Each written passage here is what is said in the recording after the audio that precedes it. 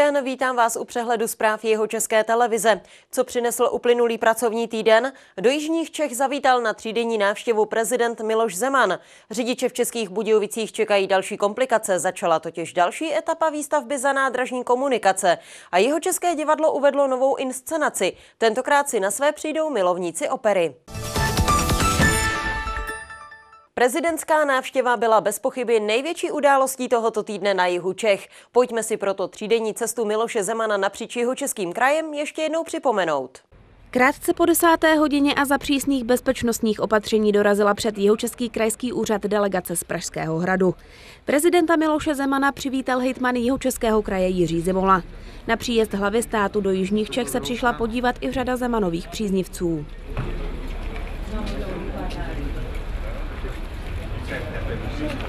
Prvním bodem prezidentova programu bylo setkání se zastupiteli jeho českého kraje, se kterými diskutoval například o budoucnosti Budějovického Budvaru.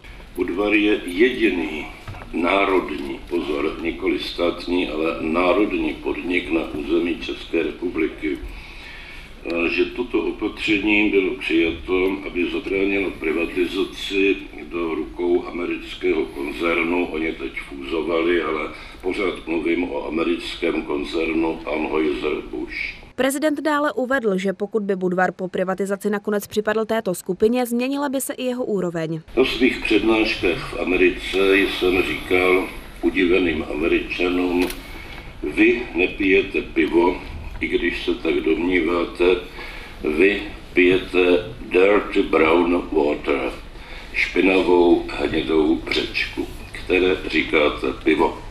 Případná privatizace Českobudějovického národního podniku by navíc podle prezidenta Miloše Zemana měla negativní vliv na další odvětví, například i na tradičních milařství. Kraští zastupitelé v diskuzi otevřeli i otázku dostavby jaderné elektrárny Temelín. Zeman řekl, že by byl pro vypsání nového výběrového řízení s tím, že by přivítal, kdyby se francouzská společnost Areva vrátila do tendru na dostavbu Temelína. A když soutěží tři, tak máte vždycky téměř jistotu, že srazíte tu dohodnutou cenu minimálně o 5% oproti tomu, kdyby soutěžili dva. Čili ano, podpořím dostavbu Temelína, podpořím rozumné konkurenční prostředí a právě proto vyjádřím svůj názor, že začlenit Arabu do této soutěže prospěje ať už výsledek bude jakýkoliv ceně a kvalitě dostavby. Se zastupiteli jeho českého kraje prezident diskutoval také například o Národním parku Šumava a o možné výstavbě lanové dráhy na rakouský Hochficht. Že jsem na Hochfichtu byl, je tam moc hezká běžecká trať a jel jsem tam z Nové Pece po rozbitých silnicích a říkal jsem, proč tady není lanovka, proč tady není sjezdovka, proč se z Nové Peci odstěhovala v posledních deseti letech třetina populace, protože je tam vysoká nezaměstnanost. Neodolám a budu citovat slova starosty Lipna, který na otázku, proč Lipno prosperuje, odpověděl, protože není na území Šumavského národního parku. Z jeho českého krajského úřadu delegace zamířila do Českobudějovické nemocnice, kde se prezident krátce po 12. hodině sešel s řediteli okresních nemocnic. Je stylové přijít do nemocnice s hůlkou. S primáři prezident diskutoval o jeho českém zdravotnictví a prohlédl si také neonatologické oddělení Českobudějovické nemocnice.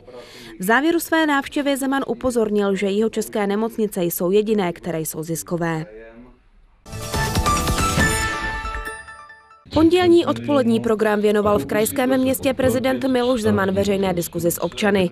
Do sálu malé scény Domu kultury Metropol dorazili převážně Zemanovi příznivci, kteří prezidentovi přišli vyjádřit svou podporu. Vítám vás, pane prezidente, tady u nás Českých Bílovic, protože já jsem vaše příznivkyně, volím vás už když mi bylo 50 let 1. června 96 a od té doby stále. Zeman s občany diskutoval o předešlé i současné politické scéně, nešetřil svým typickým humorem a za své glosy nejednou sklidil veliký potlesk. Kritiku zde vyslechl pouze jednou, a to z úst muže, který měl výhrady proti práci jeho českých policistů, státních zástupců a krajských úředníků. Ve vedení českého kraje máme lidi, kteří lžou. Já jako občan českého kraje to nechci akceptovat. Pokud máte pocit, že kdokoliv ve vedení kraje je, řekněme, vás nehoden nebo prostě vy s ním nesouhlasíte, tak jako svobodný občan můžete dát svůj hlas. Alternativě politici se neodvá, neodvolávají individuálními vykřiky, tím méně mediálními kampaněmi. Politici se v demokracii odvolávají svobodnými volbami.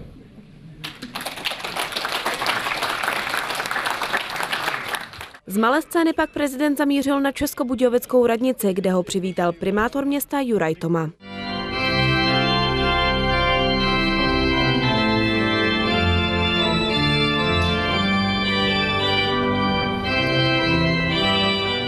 Večerní program už se nesl v méně formálním a pro prezidenta jistě příjemném duchu. Po návštěvě oblíbených masných krámů, kde se Miloš Zeman potřásal rukou s generálním ředitelem Budějovického budvaru Jiřím Bočkem, čekala na delegaci slavnostně vyzdobená tabule v Grand Hotelu Zvon. Pan prezident u nás dneska po večeří menu z takzvané naší české farmářské kuchyně. Bude večeře třeba eh, táflšpic, eh, který bude pocházet z naší farmy na Mysletíně, naší domácí hovězí polévku s domácími nudlemi, tak dále. To, vysloveně jsou to eh, spíše jednodušší jídla, ale ze špičkových surovin a moderně připravená. Prezident Miloš Zeman naštívil v úterý odpoledne jeho český písek. Před půl druhou dorazila do Palackého sadu kolona devíti aut. Miloš Zeman vyrazil pomalu na oběd do vyhlášené restaurace u Rainerů. Tady ho přivítal písecký starosta Ondřej Veselý. Vzhledem k tomu, že u Rainerů byly tento víkend zvěřinové hody, tak se rozhodli navázat na zvěřinu, takže to byla zvěřina a žádné další speciální požadavky nebyly. V uzavřené společnosti dostal Zeman jako aperitiv slivovici. Předkrm tvořila kančí paštika, polévkou byl bažantí vývar a hlavním chodem špikovaná bažantí prsíčka. Prezident obědval téměř dvě hodiny, pak se z restaurace přesunul do divadla Fráni Šrámka na setkání s občany. Venku na něj čekali asi dvě stovky lidí. Já nic nemám podepsání, ale docela bych, kdyby se zastavil s ním i mluvila. V divadle se lidem omluvil za desetiminutové spoždění. V písku mu prý tak chutnalo, že si musel přidat. Písečákům polichotil, když nazval město nejlepším místem pro život. V sále sedělo asi 200 převážně starších lidí. Jeden z důchodců se ptal na navyšování důchodů a zvýšení minimální mzdy. Zeman odpověděl, že by mělo být výraznější než o desítky korun. Rusnokova vláda ji zvýšila o 500 korun na 8,5 tisíce. Mezi občany byli hlavně Zemanovi příznivci. Prezident mluvil o plítvání s armádními penězi. Část peněz z církevních restitucí by dal na hospicovou péči. Na závěr se podepsal do písecké pamětní knihy a od starosty převzal dar. Přidali jsme mu tři historické mince, protože loni si písek připomínal výročí. Zeman slíbil, že se do písku ještě v letošním roce vrátí. Prezident pak v úterý večer odjel na návštěvu Jindřichova Hradce a Třeboně. Ve středu se prezident Miloš Zeman vypravil na Táborsko. Ještě předtím se ale zastavil také na jaderné elektrárně Temelín, kde si kromě setkání s představiteli Česu prohlédl strojovnu prvního bloku. Na jaderné elektrárně Temelín prezidenta Miloše Zemana přivítali krátce po 11. hodině.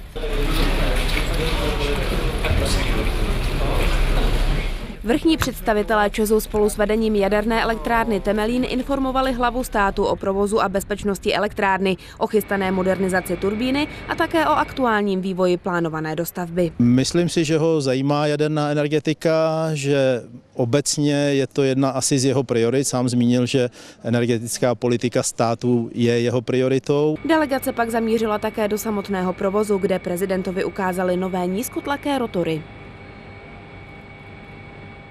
Nové nízkotlaké rotory, které si Miloš Zeman na Temelíně prohlédl, budou do turbíny namontovány už letos v létě. Je to jeden z modernizačních kroků, který do naší energetické soustavy přináší zvýšení výkonu vlastně pohotového, které je srovnatelné s výstavbou nové elektrárny. Při prohlídce Temelína se bez přítomnosti kamer Zeman sešel také se zaměstnanci elektrárny. Prezident s nimi diskutoval hlavně o svých vlastních zkušenostech z doby spuštění prvního výrobního bloku. V té době byl totiž Zeman předsedou vlády. Nad Benešovou vilou v Sezimově ústí zavlála poprvé od roku 1948 prezidentská vlajka. Miloš Zeman přijel do vily, aby u pomníku Edvarda Beneše položil věnec. Za asistence hradní stráže a hudby se všemi podstami. Prezident se pak ještě pozdravil s dětmi z místní školy a odjel do tábora. Tady se setkal s Josefínou Napravilovou, která před měsícem oslavila sté narozeniny. Miloš Zeman pak naštívil firmu Farmtech v Jistebnici u tábora, která vyrábí zemědělskou techniku. Tady si na lízrovém obráběcím stroji vyrobil siluetu hračan z nerezové ocely a stejný, ale zarámovaný dárek si odvezl. Prezident pak ještě naštívil závod ZVVZ v Milevsku. Po setkání se zaměstnanci firmy a tiskové konferenci ukončil návštěvu jeho českého kraje. Českobudějovický dopravní podnik je dál bez ředitele. Ve hře sice byli tři uchazeči o místo, Jiří Čejka, Oldřich Pavlovský a Slavoj Dolejš, jenže ani jeden nedostal potřebný počet tří hlasů. Rozhodovali čtyři členové představenstva dopravního podniku.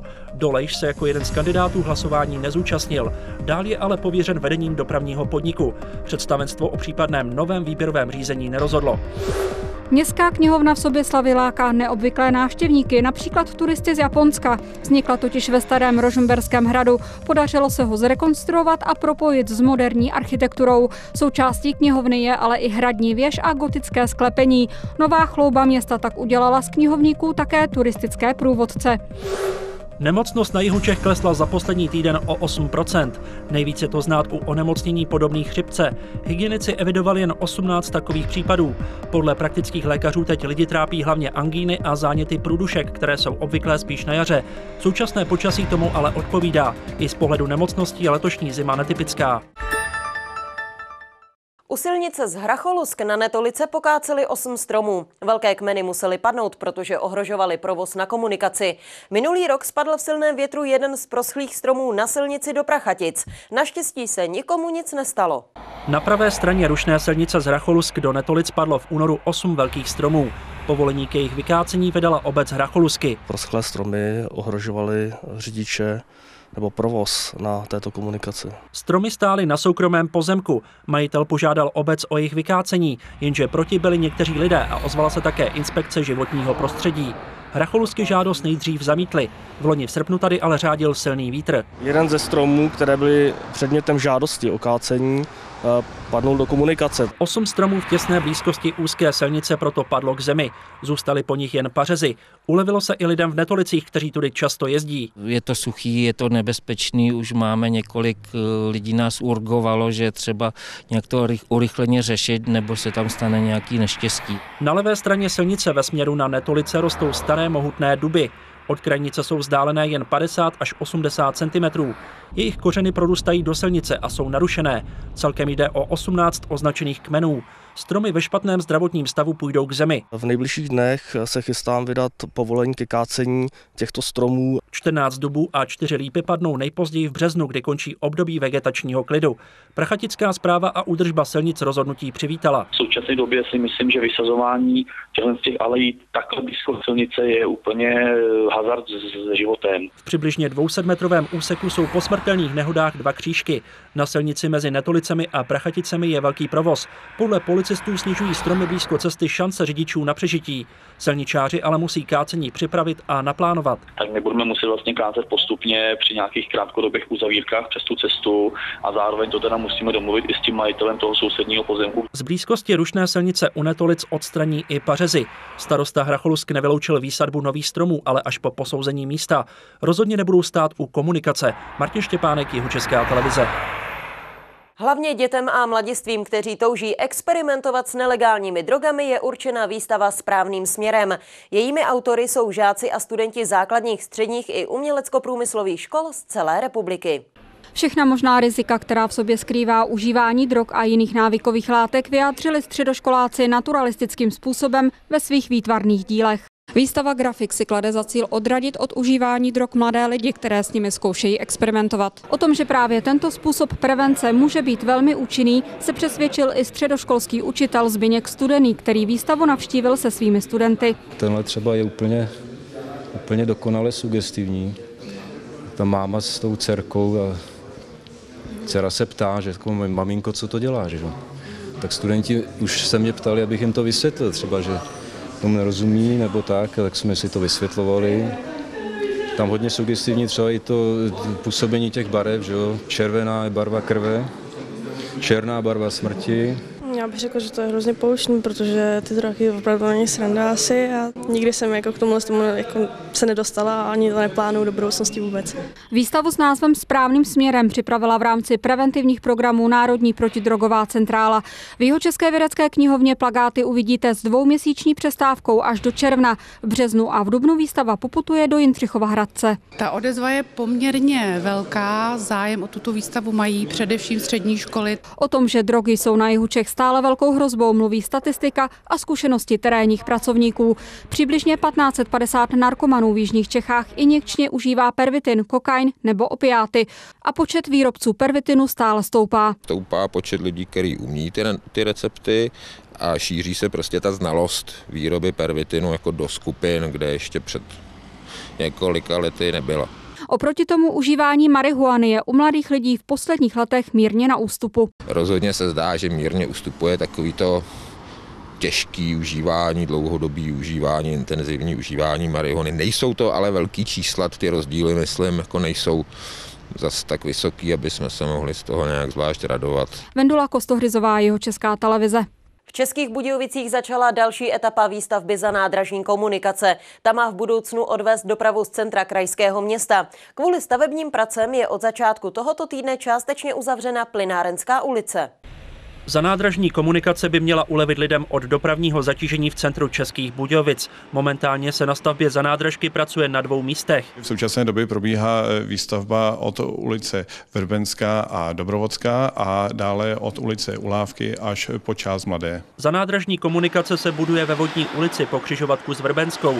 S přeložkou silnic souvisí i obnova vodovodu a kanalizace od Dobrovodské ulice po vodní u Plynáren. V současné době se provádí rekonstrukce nebo úprava v Plynárenské ulici. V Českobudějovické části pětidomí proto řidiči musí počítat s dopravním omezením. Levá strana Plynárenské ulice je od tohoto týdne částečně uzavřena. Tato oprava potrvá přibližně do konce dubna. Na ní pak naváže oprava rekonstrukce druhé části ulice, která skončí v červnu. Majitelé domů v Plynárenské ulici proto musí parkovat na chodnicích. Jinak to ale nejde. Za nádražní komunikace je hlavně projektem jeho českého kraje, na kterém se podílí město České Budějovice. Celá stavba je realizovaná z, z peněz Evropské unie. Na zanádražní komunikaci se pracuje i v budějovické části Mladé. Řidiči ze Suchého Vrbného využívají objížďku po panelové cestě. Dokončení zanádražky má zjednodušit a urychlit provoz poslední fázi výstavby bude tvořit úsek od propojení okruhů na Pekárenskou ulici. Tu poslední etapu teď připravujeme. V současné době probíhá vlastně tender na e, výběr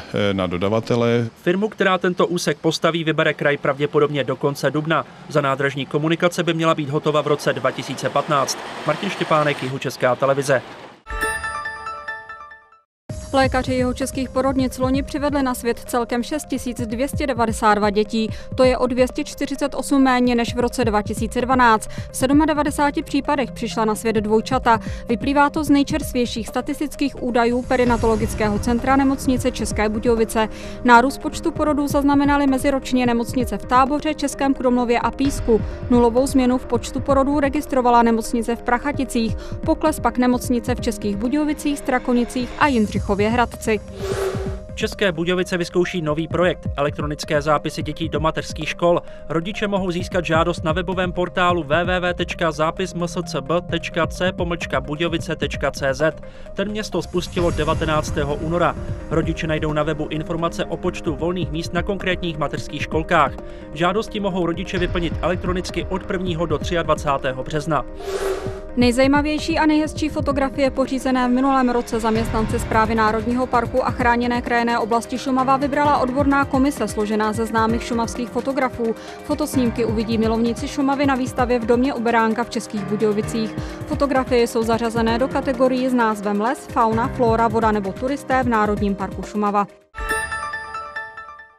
Děti ve školním věku v současné době mají mnohem víc možností, jak se stravovat, než dřív. Zvláště od věku, kdy začnou dostávat kapesné, můžou svůj jídelníček částečně ovlivňovat sami. Nabídka rychlých občerstvení a sladkostí je pro ně hodně lákavá.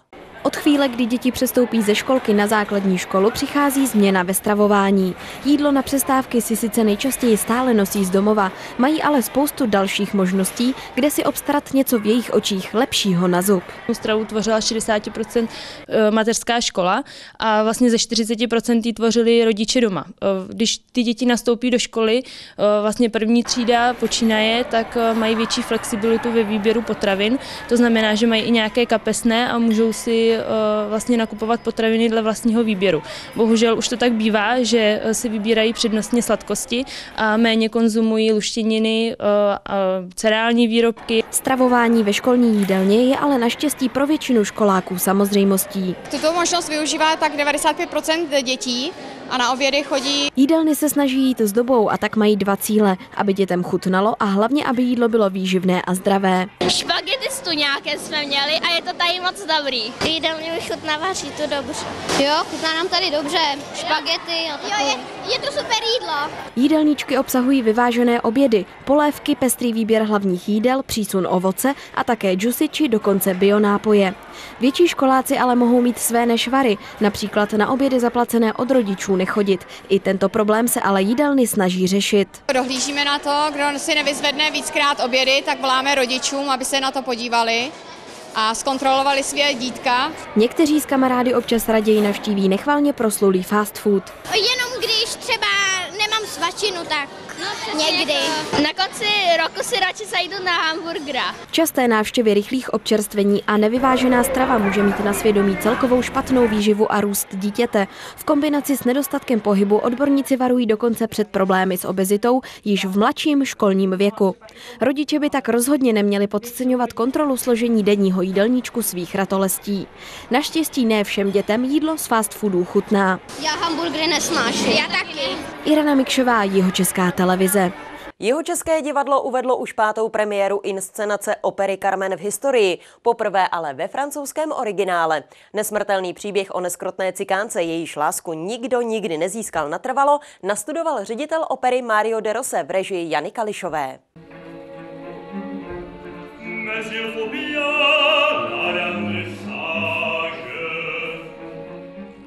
Už od počátku ledna celý jeho český operní soubor pečlivě piluje francouzskou výslovnost při zkouškách opery Carmen pod vedením režisérky Jany Kališové a choreografky Jaroslavy Lojfenové.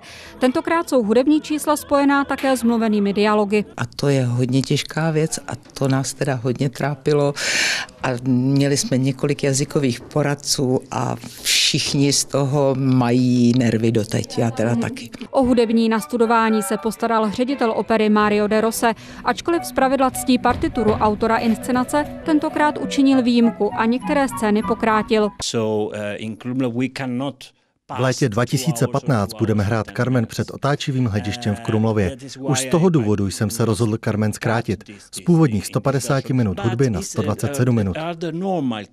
Scéna a kostýmy jsou společným dílem Jany Zbořilové a Agněsky Páté. Mně to přijde legrační, prostě když si hrajeme tak hodně na Španělsko, takže jsme zvolili jako výchozí dobu Španělsko 30. let, které je méně barvité, méně kanírové, za to více dramatické a snažili jsme se jet po dramatické dramatické linii a zároveň i hledat nějaké stopy humoru v tom představení. Carmen uslyší diváci v podání mezosopranistky Šárky Hrbáčkové a v pondělí v alternaci její německé kolegyně Sandry Schwarzhauptové, která si chválí profesionalitu souboru. Ich bin Perfektionistin, weil ich das dem Team schulde. Jsem zvyklá pracovat na 100%, musím být perfektně připravená jak po pěvecké stránce, tak po herecké. Už kvůli svému týmu a hlavně kvůli roli Carmen, abych dokonale stvárnila její charakter. Od listopadu jsem si vzala sou soukromého učitele na kastanity. Učila jsem se na ně ráda a zakomponovali jsme tam hru. Je to velmi důležité, protože Carmen je plná života. Je to cikánka a umí si užívat života. Vendula Kostohryzová, jeho česká televize. Z přehledu zpráv je to vše. Já vám děkuji za pozornost, za celý tým jeho české televize se s vámi loučím a těším se brzy na viděnou.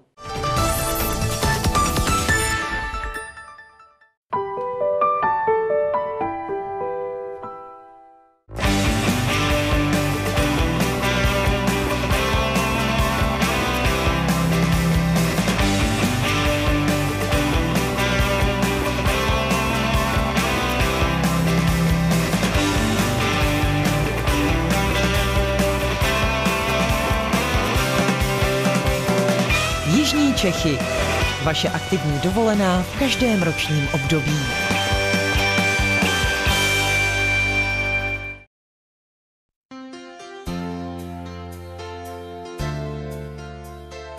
Na pohádkovém koberci? Přímo do pohádky koberců. Specializovaný obchodní dům Strnat Lišov Má 150 odstínů koberců všech druhů podlahové a obkladové korky a široký výběr podlahovin z PVC. Pro každého dobrá rada. Koberce vždy od Strnada. Strnat Lišov má telefon 387 994 592. Čistící a úklidová technika Kercher pro profesionály i do domácnosti, záruční i pozáruční servis, komplexní úklidové práce. Navštivte Kercher Centrum firmy Čistící stroje v Litvínovicích na Výpadovce na Krumlov www.karchercs.cz Potřebujete taxi?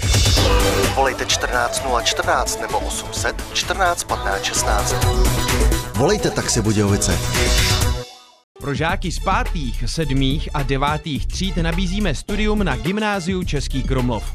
Spolupracujeme s evropskými školami, možnost výběru z pěti světových jazyků, moderní laboratoře a odborné učebny, volitelné předměty a semináře pro přípravu ke studiu na vysokých školách.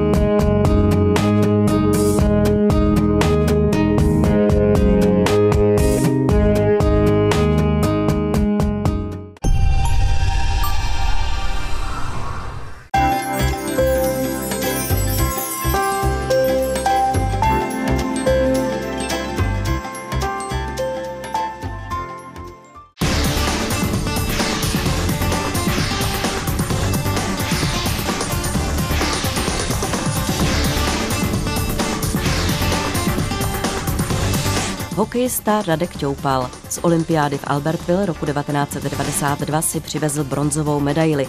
Na olympiádě v Lillehammeru byl s týmem pátý. Bronzovou medaili má z mistrovství světa. Je vítězem kanadského budování v ligovém ročníku 1990-91 a členem klubu kanonírů, elitní společnosti hráčů, kteří v lize a v reprezentaci nastříleli více než 250 branek. S jakým zážitkem máte spojené Jižní Čechy? Tak těch zážitků je asi hodně, protože já jsem tady od malička vyrostl, jsem se narodil, takže já jsem Jihoček jak poleno. Umíte relaxovat? Jak? Je to určitě, umím. Já jsem lenivej, takže v, v sauně, v Jířivce, na horách, u moře, určitě. Vzpomenete si na nějakou lež, kterou jste řekl někdy svým rodičům? Kdysi dávno? Tak určitě, že budu spát u kamaráda, samozřejmě to bylo u druhého pohlaví. Co byste vzkázal našim politikům? No comment. Kdybyste mohl být kýmkoliv na světě, alespoň na chvilku, koho byste si vybral? Asi mýho syna. Co vás dokáže opravdu potěšit? Úspěchy dětí.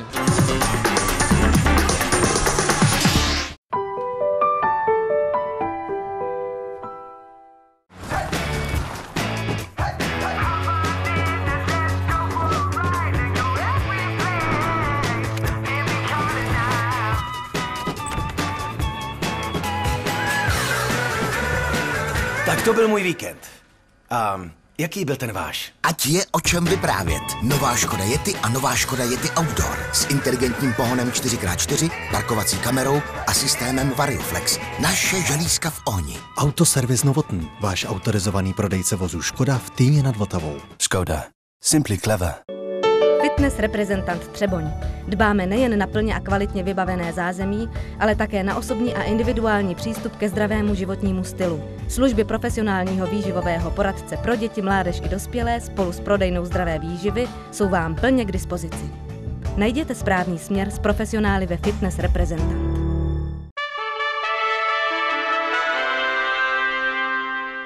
Českobudějovické výstaviště nabízí k pronájmu variabilní prostory multifunkčního pavilonu T s parkováním v centru města.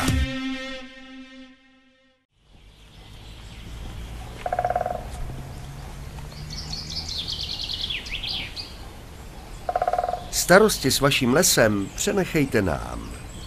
Les Milevsko AS